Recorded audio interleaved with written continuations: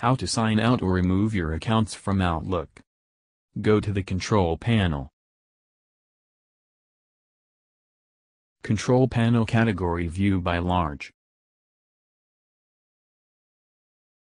Go to Mail.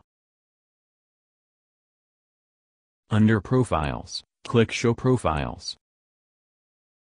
In this section, you have to remove Outlook, to start Outlook from the beginning. Click Apply, and click OK. Open Outlook. Type Outlook as the profile name. Then click OK. Now you can start Outlook from the beginning. Thanks for watching guys. Subscribe to our YouTube channel to see more helpful videos.